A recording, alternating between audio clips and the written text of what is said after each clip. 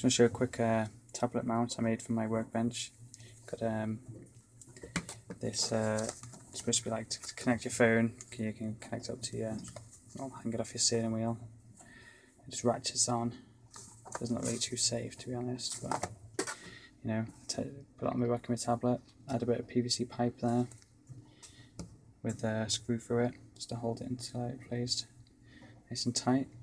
Added a bracket, PVC pipe bracket on here, and then all you have to do is uh, just hook it in, slide it up.